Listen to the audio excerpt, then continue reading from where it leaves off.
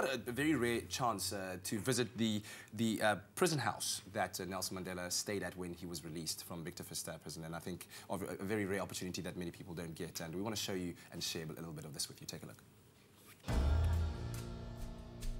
Between the wineland towns of Paarl and Franschhoek lies the Drakenstein Correctional Centre, which history will recall by its former name, the Victor Verster Prison, from where Nelson Mandela walked out a free man after 27 years. Today I am super excited because I'm about to have a very unique experience. I'm going to be spending time in the actual cell where Tata Madiba spent the last stretch of his sentence and I'm meeting up with Manfred who's going to be taking me through and telling me some very unique stories that he can remember from our Tata. Manfred, welcome, nice hardly welcome to Drakenstein, perfect. Thank you. Now I'm, I can't wait for this experience, but before we even get there, what's the story on the statue? Because I believe this it holds a very special meaning. Great, great symbolism. Let me tell you, first and foremost, this statue was paid for and commissioned by the Sexwale Family Foundation. And Minister Sexwale approached uh, Madiba, and Madiba said, fine, continue. One condition though, the plinth on which it stands, don't make it too high, because I don't want to be elevated. That's why the plinth is not that high. The statue, however, three meter tall, you can see he's actually walking. He walks to freedom, facing the rest of Africa. Around the plinth, you will find prison bars bended in different directions. That depicts his own as well as our nation's attempt to break free from our past.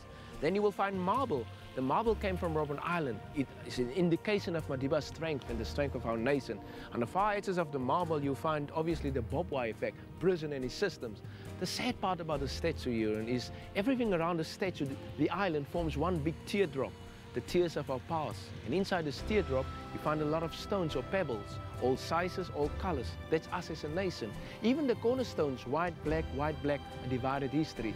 But they need to be a good part as well. So I want to take you to a different island, closer to our access gate, with a third flagpole, beautiful Rainbow Nation flag, to tell us this is what he achieved.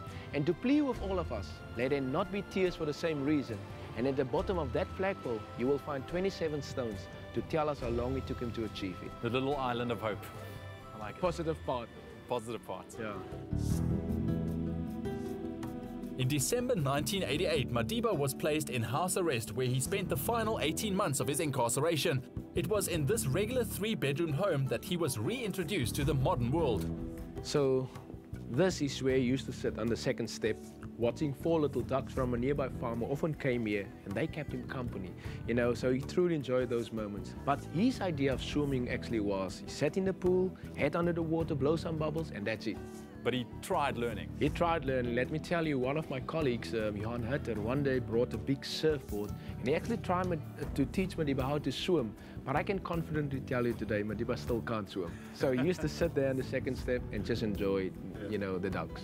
Manfred, I must be honest that this is not exactly the prison cell that I had in mind. And I think a lot of people would be wondering why, after spending 25 years in both Robben Island and also Pollsmoor, was he transferred to such a nice facility? At a time, there was a lot of civic unrest in our country, sports isolation, overseas companies already imposed sanctions against South Africa. So government actually needed a place where they can create an atmosphere where they can start to talk with the ANC in Madiba in particular. But they need something to that need to be safe first and foremost, and public can't hear just. So this house already prison property because this house was not built for him. It was a farm owner's house before we took it over. So it was ideal because when, whenever government officials came here, the officials and residents on the other side had no idea that Madiba was even detained here. So this house was just a safe haven for them. Now, you know, as they said in Xhosa, Wamkele Kele, welcome. Wamkele Kele, thank you. Please do. Wow. Manfred, wow, what a kitchen. Yeah, all the origi original furniture. Sure. When he came here, he was 25 and a half years already in prison. And obviously a lot of things changed in a period of 25 years before he went to prison and during the 25 years he had no but no knowledge about microwave ovens. Now believe it or not, a microwave oven used to stand here and opposite there a Philips television in that corner.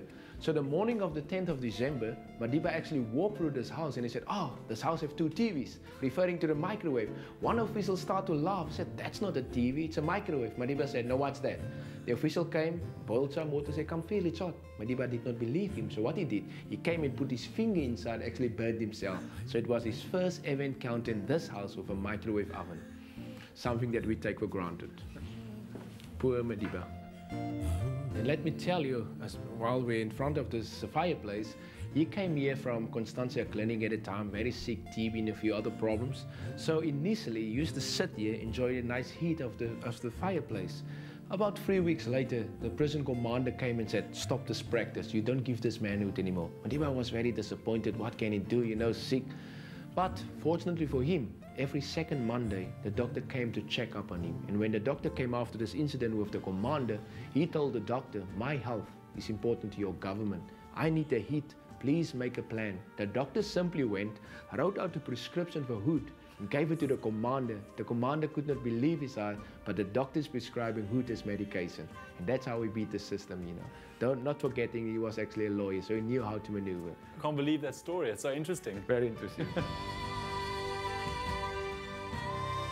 The first dinner guest at the house was Winnie Mandela. Madiba also used his time here to complete his LLB degree, and he was permitted visitors like anti-apartheid campaigner and friend Harry Schwartz. However, for the most part, he was still being kept away from his family and his life. So this is the big bedroom. I mean, wow, just look at it. So only three nights in this room, and he said, please give me something smaller. And then, you know, they relocate him to the smaller room. So the first night he actually came through that sliding door. And three nights later, well, off he goes. I can just imagine what must have gone through his mind just stepping into a room this size. I mean, look, just consider Robben Island, Pollsmoor, tiny little cell, and suddenly they brought him in here. Oh, I can really, I personally think he did not sleep that three nights at all. It must have been scary, really. Mental punishment, in a sense. Indeed. Yeah. During his stay, Madiba also had the care of a cook. After the harshness of Robben Island, he really enjoyed the garden. The overseas media referred to this house as a gilded cage. Oh, let me tell you, I forgot to tell you, the last story perhaps is this lemon tree, this very lemon tree, was planted by Madiba himself. No way. And it's just an look here, 23 years later. Oh, that's incredible. Do you mind if I take a lemon home with Oh, me? please maybe? do, please do. Many people take some of the fruit, so please do. Really? Yeah. Grow my own little Madiba lemon tree. Here, how about this one here? Yeah. Oh, Oh, look at that.